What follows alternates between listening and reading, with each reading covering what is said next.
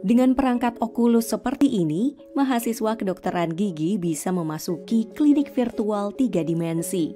Di klinik ini, mahasiswa bisa melakukan simulasi pemasangan implan gigi dan mempelajari alat-alat yang digunakan.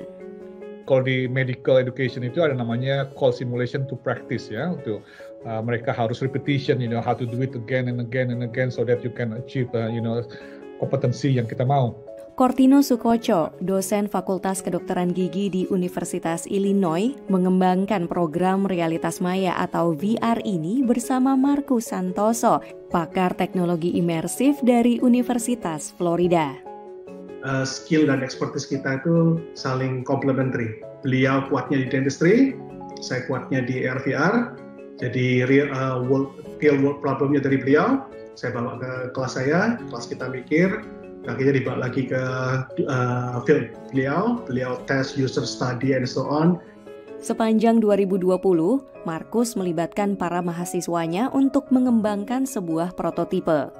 Prototipe itu kemudian diuji coba oleh Cortino dan beberapa mahasiswanya. As a student, the implant simulation program aided in my learning of the overall sequence of dental implant placement by fully immersing me in a lifelike dental setting as the treating dentist. Good morning, Mr. Andrews.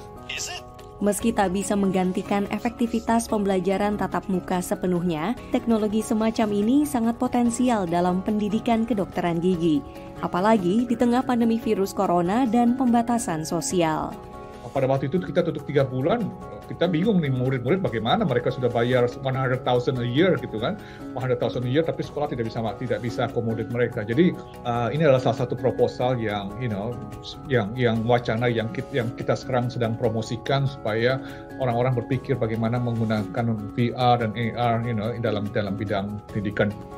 Hasil riset mereka telah dirilis dalam Journal of Dental Education dan dipresentasikan dalam beberapa seminar di Amerika Serikat.